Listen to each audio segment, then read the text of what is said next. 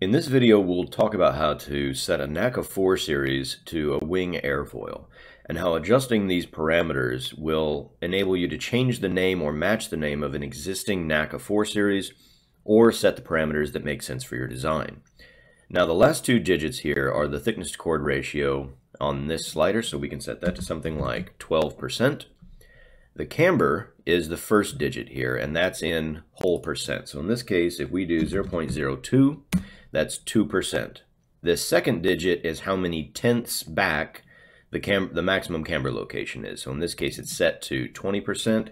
Let's set that to 40%. So now we've created a NACA 2412, meaning that we have 2% camber, 40% back from the leading edge, and a 12% thickness to chord ratio. So that's how you can alter these parameters to create a specific NACA 4 series airfoil. With this airfoil and some of the others, you'll either have the option to sharpen the trailing edge or leave it blunt, and some even allow you to invert the airfoil. We'll discuss why you would invert the airfoil in a different video, but for now let's take a look at the trailing edge and see what sharpened trailing edge does for us.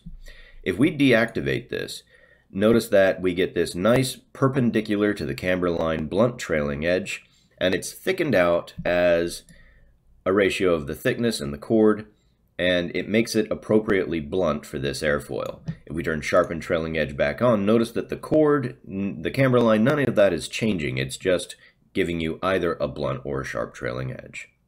So that's how you can work with NACA 4 series airfoils within your model in OpenVSP.